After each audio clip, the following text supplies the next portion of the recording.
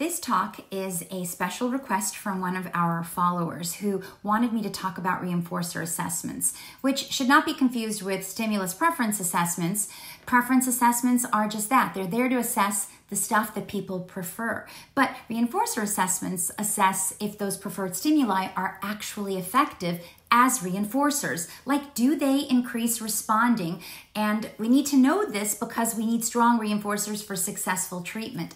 I'm going to discuss four types of reinforcer assessments. The first is the concurrent schedule reinforcer assessment, which assesses reinforcers when there are different contingencies for different behaviors that are occurring at the same time. However, they're independent of each other. So basically, the potential reinforcers are competing against each other. So imagine a client has choices of behaviors to engage in, and each one has a different schedule of reinforcement. And the idea is that the behavior with the higher rates of responding is the one with the more reinforcing schedule.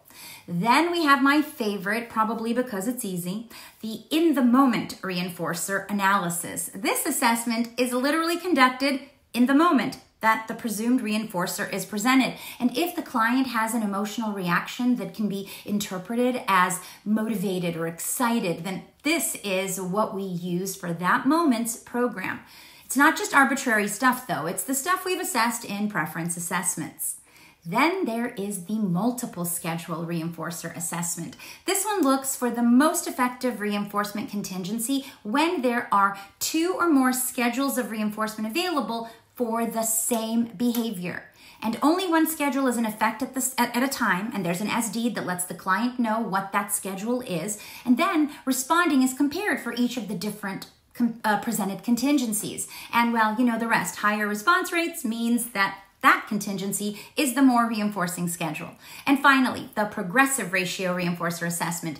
This basically looks to see how much responding we can get from one potential reinforcer or schedule. The response requirements are going to be systematically increased, but the reinforcement stays the same.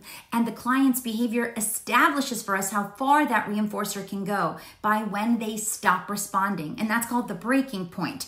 That's just them letting us know this is as much as they're willing to do for this particular reinforcer.